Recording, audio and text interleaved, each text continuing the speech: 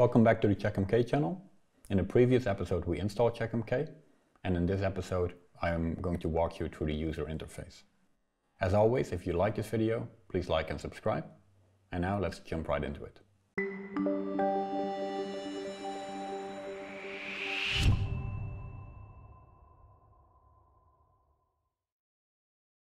So here we're back in the monitoring site that we set up in the first episode. Let's talk about the UI of CheckMK. The UI of CheckMK is split up in three major sections. On the left you have the main navigation. In the middle you have the main page or the main content where the dashboards are being shown or the views that you're currently looking at. On the right you have the sidebar. This is your cockpit into CheckMK. Here you have a continuous overview of everything that's going on in your monitoring and also you have like quick links to uh, features or items in CheckMK that you frequently use. So let's start with the main navigation. Let's go from top to bottom. First item, monitor. Here you find everything that is currently being monitored.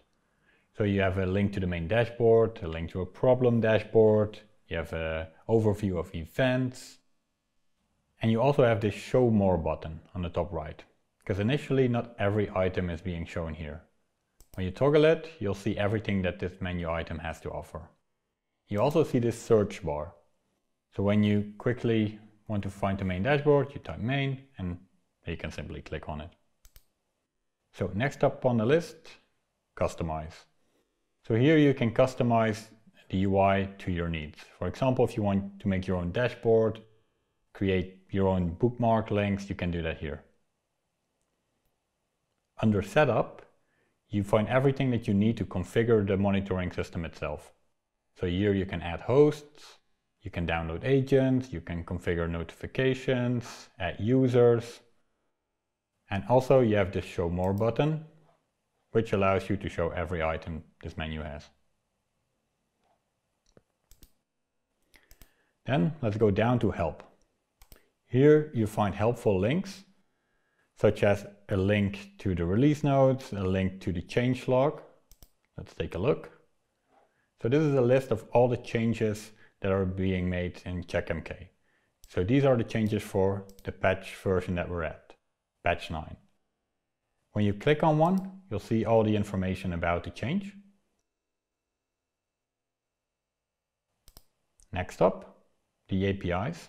So we have a REST API and you can find the documentation here.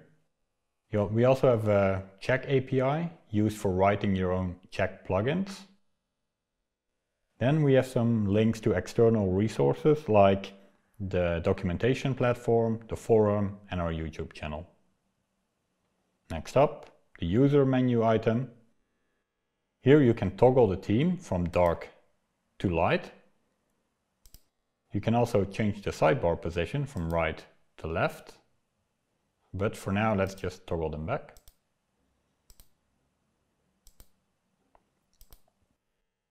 So like we showed you in the first episode, you can also change your password here. You can set your own rules about notifications. There are also some more settings you can change for your profile like your language. You can toggle between English, German and Romanian. But we also have a few more languages which you can download on our Exchange platform on exchange.checkmk.com. Here, for example, you can download plugins for Dutch, French, Spanish and Japanese.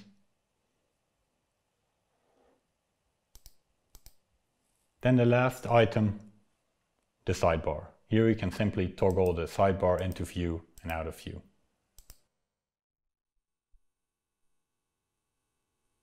So here you see the dashboard of our demo server. You see that there is a lot more going on than on our VM, because that had only one host. So here on the top left, you'll see the host statistics. The number of total hosts, how many are, are up or are in downtime. Right of this, you'll see the same thing, but over time. On the row below, we have a similar overview, but for services. So the total amount of services, how many are okay, how many are in downtime or are critical. Again, right of this, you'll see the same thing, but over time. On the row below, you'll see the problem notifications over time.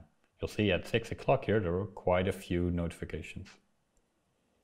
Right of this, you have the percentage of total service problems. Also over time. On the row below, here you see this beehive, where every host in a system is represented by one hexagon. And the color of the hexagon indicates the state of the host. So if it's blue, it's in downtime. If it's red, it's down. And it, when it's just gray, it's doing just fine. Right of this, you have the top problem makers in the past seven days.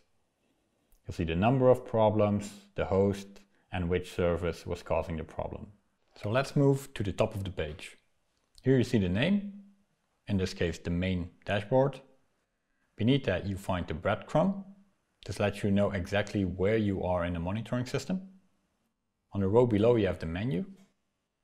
For the dashboard you have the dashboard item, which lets you customize this built-in dashboard or set it as your start URL for when you log in.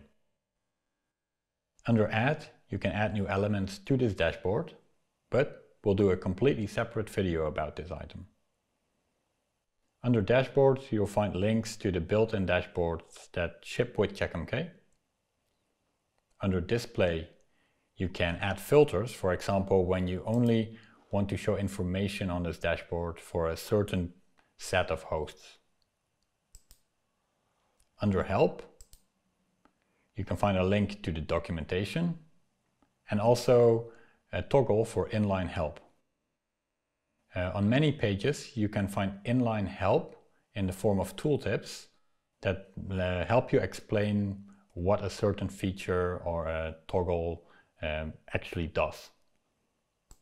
Then next to it, you have four icons. One is for the, link to the main dashboard, which we are currently at.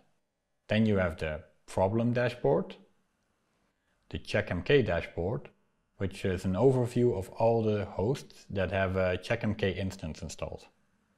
And once again, a quick link to the filter. So let's quickly click on services. Now let's talk about the last item of the navigation of the main page, the action bar.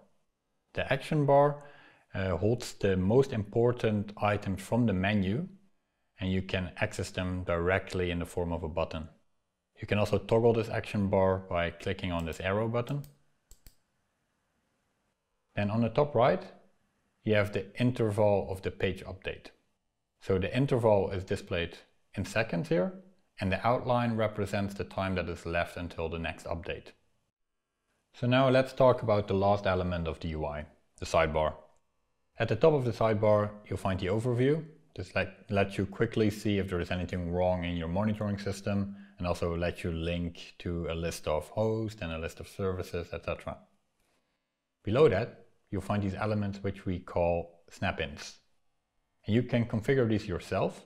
You can change the order that they're in by simply dragging them around. You can remove one by clicking on the X. And if you accidentally remove one and want to add it again, just click on the plus at the bottom so this leads you to an overview of all snap-ins that are available in CheckMK. So now let's add the quick search again. And you can do that by simply clicking on it. And you see, it's been added to the sidebar again. So now let's talk about these two, these two snap-ins, the views and folders.